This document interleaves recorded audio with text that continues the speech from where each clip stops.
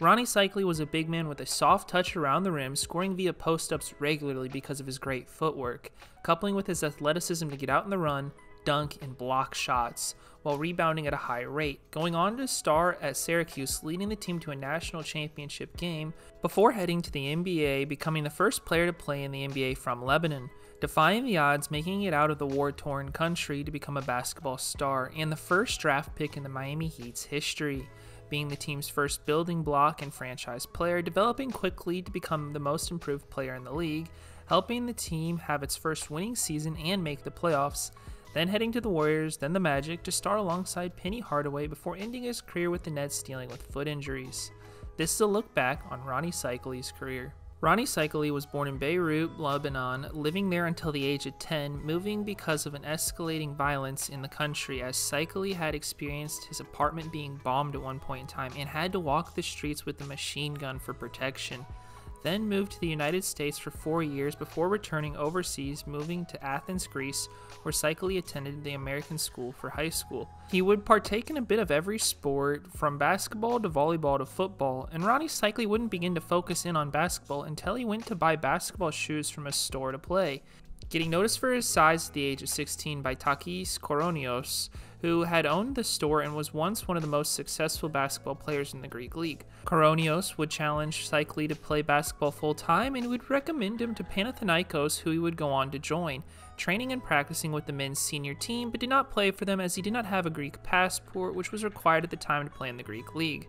A couple years later, he would come to America to visit his brother who was attending Colgate for school. While there, Syracuse was having a basketball camp nearby, and Seikaly had decided to try and attend it where he was quickly noticed for his size and asked instead to play with the camp counselors who were current members on the team and former college players. Rony Seikaly quickly impressed, and Jim Boeheim would instantly offer him a scholarship afterwards, which he gladly accepted. Rony Seikaly the following year was joining a competitive Syracuse team led by Rafael Addison and Pearl Washington. Seikaly found himself fitting into the starting lineup at the center position, where he showcased his athleticism for his size, but was still raw at times, averaging 8.1 points and 6.4 rebounds, making the Big East all freshman team with the highlight of the year for Seikaly being a game against Georgetown, where he held his own against Patrick Ewing, helping Syracuse upset Georgetown, who were largely considered to be the best team in the country at the time. Syracuse would end Seikaly's freshman season going 22 9, making NCAA tournament as a 7 seed. Round 1, Syracuse would get past Tyrone Corbin and DePaul as Seikaly was the team's second leading scorer at 17 points and leading rebounder with 9 before they would get blown out round two by two seeded Georgia Tech behind Mark Price and John Salley. Syracuse next season returned its main guys, and it added Sherman Douglas, raising the expectations for the team. Rony Seikaly steadily kept improving his sophomore season to average 10.1 points, 7.8 rebounds, and 3 blocks, becoming second team All Big East, helping Syracuse thrive, going 26 and 6, winning the Big East, making the tournament as a 2 seed. Round one, Syracuse would cruise past Brown, and the second round would be a different tale as the Orangemen would be proceeded to be upset by Navy with David Robinson outplaying Seikaly, who had gotten in foul trouble. In the offseason, Rony Seikaly had already become a U.S. citizen and represented the Team USA in the FIBA World Championships, bringing home gold for USA after defeating the Soviet Union. Upon returning back to Syracuse after the championship, he would be joining a new team, having lost Pearl Washington and Rafael Addison to the NBA, yet had retooled adding Derrick Coleman and Stephen Thompson. Rony Seikaly took on a bigger role after the departures to average 15.1 points, 8.2 rebounds, and 2.1 blocks, making another second team All Big East. But unfortunately, the most memorable thing this season for Seikaly would be his uncle mid season being kidnapped, as he was kidnapped for ransom because of Rony Seikaly growing notoriety back in the war torn Lebanon. Fortunately, his father was able to travel to Beirut and negotiate a successful release, and during the time, Rony Seikaly's production took a dip as he was surprisingly kept playing during the midst of it all. Meanwhile, Syracuse finished the year thriving due to the emergence of Sherman Douglas and Seikaly's growth going 31 7, winning the Big East again, getting back into the NCAA tournament as a 2 seed. Rony Seikaly started the tournament off hot, carrying Syracuse into the Elite Eight after defeating Georgia Southern as he had 22 points and 7 rebounds, Western Kentucky, with Seikaly recording 23 points and 10 rebounds, and then his best game against Florida, going for 33 points and 9 rebounds. In the Elite Eight, Syracuse met the one seeded North Carolina, who has seven future NBA players led by Kenny Smith. Yet that did not deter Seikaly in Syracuse as Rony Seikaly kept up his stellar form, going for 26 points and 11 rebounds, helping Syracuse advance in a close game into the Final Four. The Final Four brought a matchup against Billy Donovan in Providence, where Seikaly would cool off, going for 16 points and 6 rebounds, but Syracuse had managed to shut down Donovan, making it into the championship game for the first time in school history to play Steve Alford in Indiana. The game would be a close one with each team's star players coming to play, and Rony Seikaly playing his part, scoring 18 points and having 10 rebounds. Syracuse down the stretch looked like they were going to win the game being up one, and Coleman headed to the free throw line. But Derrick Coleman missed his free throw, and Indiana went down the court, winning the game on a jump shot from Keith Smart, ending Syracuse season in heartbreak.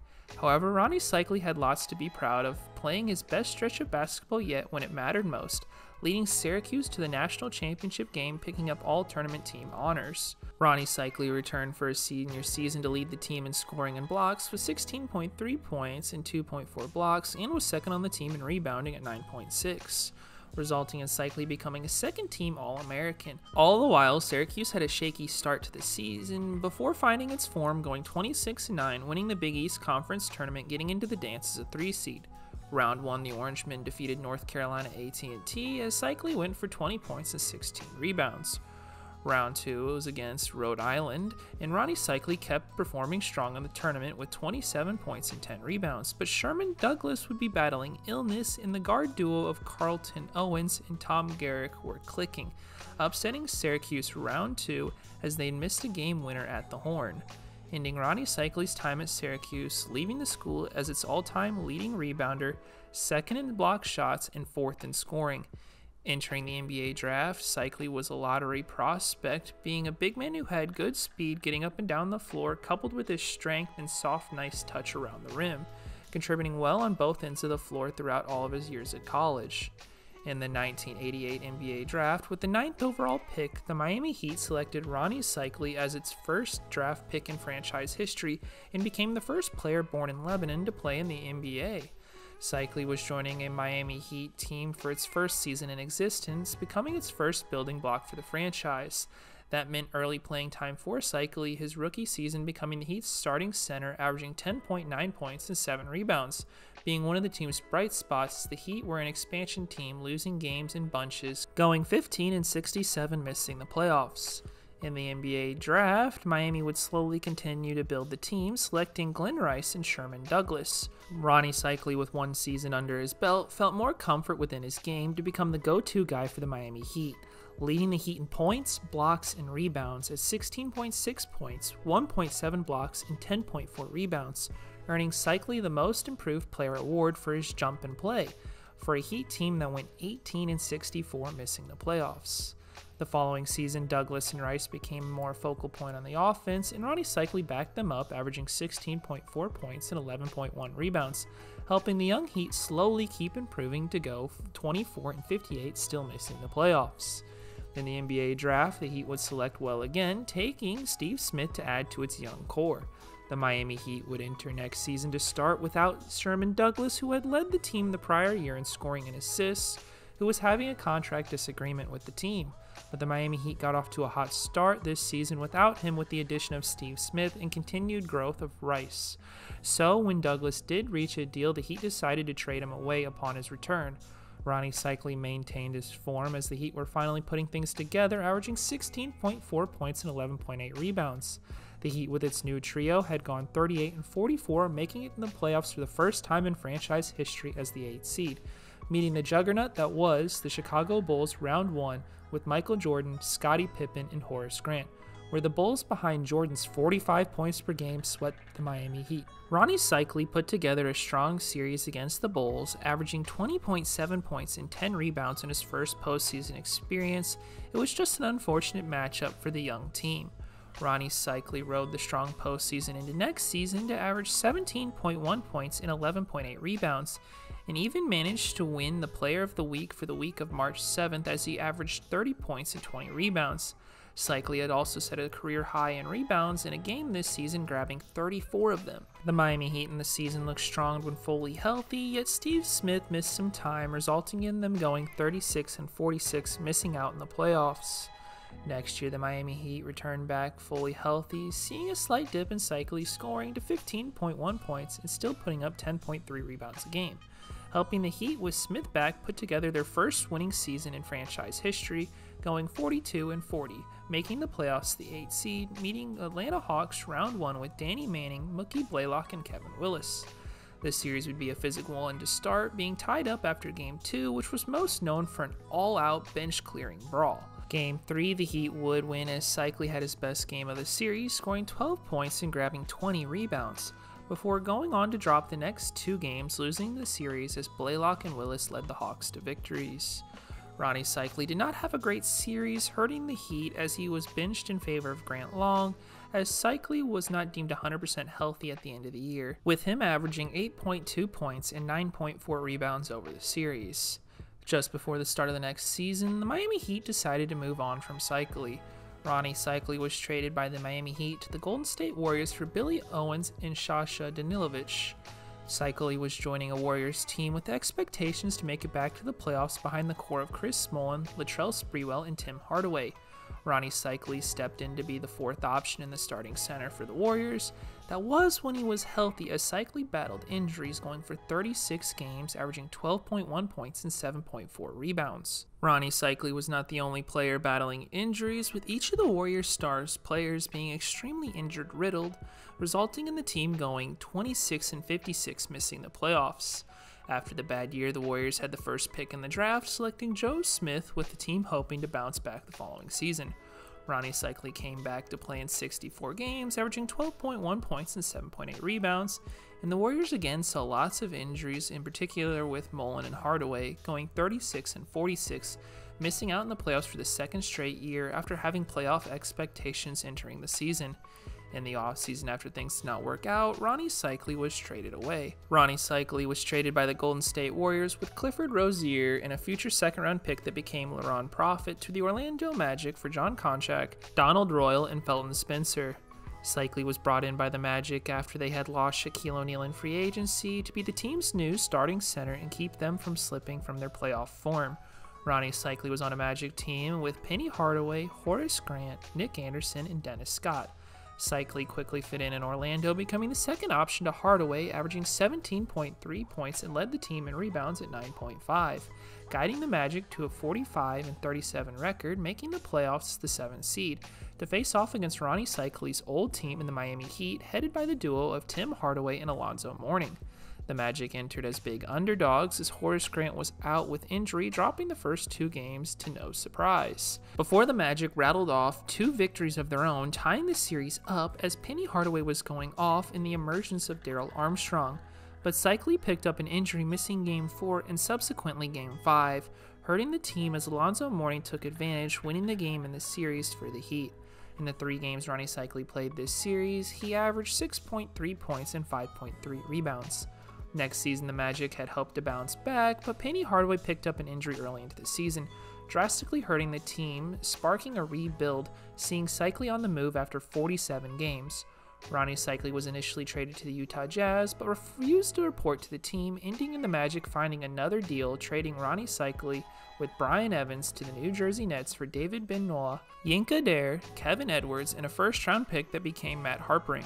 Rony Seikaly was joining a Nets team looking to make a run in the playoffs behind Sam Cassell, Kerry Kittles, and Keith Van Horn. However, nine games in, Rony Seikaly picked up a foot injury, ending his season, playing in 56 games between Orlando and New Jersey to average 13.3 points and 7 rebounds this season. The Nets without Seikaly the rest of the regular season went 43 and 39, sneaking into the playoffs to the 8th seed. Fortunately, Seikaly would return for the Nets this series, where they would be playing against the Chicago Bulls and Michael Jordan. But Seikaly was clearly not back to full form, and Michael Jordan was Michael Jordan, sweeping the Nets out of the playoffs. Seikaly in his reduced role off the bench over the series averaged 6 points and 3 rebounds. Rony Seikaly next season would attempt to make a comeback, but the foot injury was lingering, limiting him to 9 games, averaging 1.7 points and 2.3 rebounds. with the Nets ending the year going 16 and 34 in the lockout shortened season after adding Stephon Marbury. After the end of the year, not seeming to bounce back from injury, the Nets waived Rony Seikaly. In the summer, Rony Seikaly would be granted a waiver and would compete for the Lebanese national team in the 1999 West Asian Championship, where he'd lead the team to a silver medal, averaging 30 points and 20 rebounds a game. Afterwards, no NBA team came calling, and Rony Seikaly would head overseas to play for Barcelona in the Spanish ACB League, which ended up being a short stint playing in three games in league play and four in the Euro League before deciding to retire. Rony Seikaly, over 11 years in the NBA, averaged 14.7 points, 9.5 rebounds, and 1.3 blocks. Seikaly in retirement would remain busy becoming a popular DJ and producing multiple hit songs then later decided to move into real estate, becoming successful as well, running a multi million dollar real estate investment company. Rony Seikaly will be remembered for manning the center position, having the ability to run the floor for a big man getting out for dunks, while also being able to post up and finish around the rim with a soft touch, relying on his athleticism to become a great rebounder and shot blocker, starring at Syracuse, leading the team to a national championship game, before heading to the NBA to become the first NBA player from Lebanon, defying the odds making it out of the war torn country.